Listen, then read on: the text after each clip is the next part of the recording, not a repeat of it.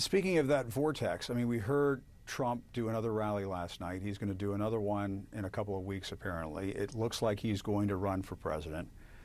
When you have so many millions of Americans out there who are still invested in him, it's still invested in these lies, you have a Republican Party that is fearful of him, won't do anything about him. How worried are you about our democracy right now? Well, the, we're in the fight of our lives, and um, you know he continues to propound his big lie, and everything flows from his big lie. It's shocking that uh, one of America's major political parties, the one founded by Abraham Lincoln, has now wrapped itself around lies, propaganda, conspiracy theory, and disinformation.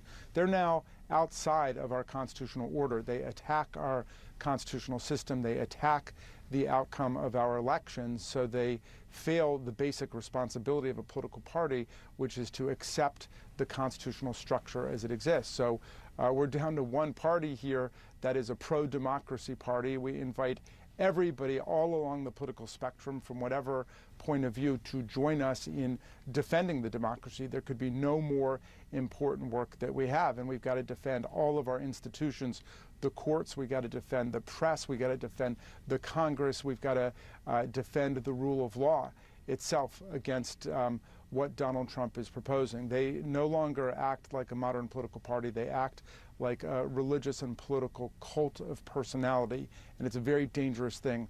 Uh, that has evolved over there, and we're asking for people to stand strong. And I salute uh, patriots from the Republican Party, like Liz Cheney, like Adam Kinzinger, like uh, the seven senators who voted to convict, the 10 representatives who voted to impeach, all of those who are standing up for the truth, because that's what's at yeah. stake right now.